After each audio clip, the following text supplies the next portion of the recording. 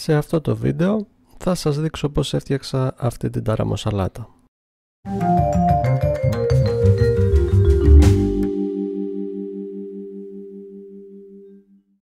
Εδώ έχω τον ταραμά που θα χρησιμοποιήσω, τον βάζω μέσα στον πολυκόφτη, προσθέτω μέσα το κρεμμύδι το οποίο το έχω καθαρίσει, χυμό λεμονιού και τριμμένη φρυγανιά Ενεργοποιώ για 4-5 δευτερόλεπτα το πολυκόφτη να ανακατευτούν αυτά τα υλικά που έχω βάλει μέσα. Προσθέτω επίσης ελαιόλαδο. Ενεργοποιώ και πάλι τον πολυκόφτη για 4-5 δευτερόλεπτα να ανακατευτεί και το ελαιόλαδο μέσα στην ταραμοσαλάτα. Και ουσιαστικά η ταραμοσαλάτα είναι έτοιμη. Μπορώ να τη σερβίρω.